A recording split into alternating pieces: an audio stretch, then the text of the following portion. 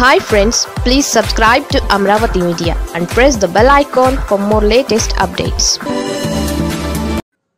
Delhi చేరిన మాధవ్ వ్యవహారం. జగన్ వదిలేసినా పార్లమెంట్ వదిలేలా లేదు.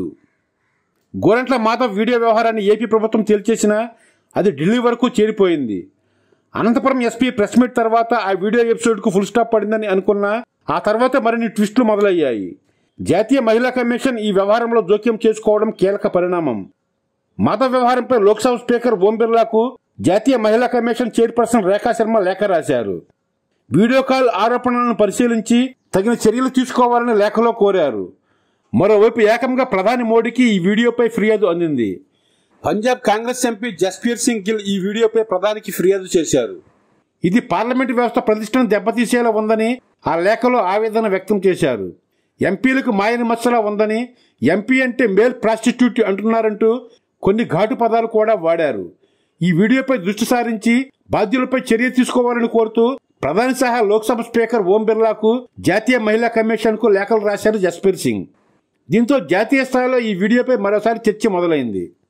ఇప్పటివరకు ఇది వైసీపీ వర్సెస్ టీడీపీ అన్నట్లుగానే ఉంది. దీనిపైన జనసేన బీజేపీ కూడా పెద్దగా స్పందించలేదు. రాజకీయ కక్షతోనే ఈ వీడియోలు సృష్టించారంటూ పదే పదే టీడీపీని టార్గెట్ చేసింది వైసీపీ. కానీ ఇప్పుడు వామపక్షాలు కూడా ఇందులో ఎంటర్ అయ్యాయి. ఫోరెన్సిక్ ల్యాబ్ రిపోర్ట్ లేకుండానే దాన్ని ఫేక్ వీడియో అని ఎలా చెబుతారంటూ సిపిఎం పాలిట్ బ్యూరో సభ్యులు రాఘవులు ప్రశ్నించారు. ఆ వీడియో వ్యవహారంలో వైసీపీ ప్రభుత్వం ఉదాసీనంగా ఉందని విమర్శించారు. పార్టీ నుంచి వచ్చిన మద్దతు చూస్తే మహిళలను అవమానపరిచేలా ఉందని ఆయన చెప్పారు.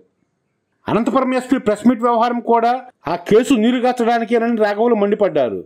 ఈ వ్యవహారంలో నిజ నిజాలు వెలుగులోకి రావాలంటే ప్రత్యేక దర్యాప్తు బృందంతో విచారణ చేపట్టాలని అన్నారు.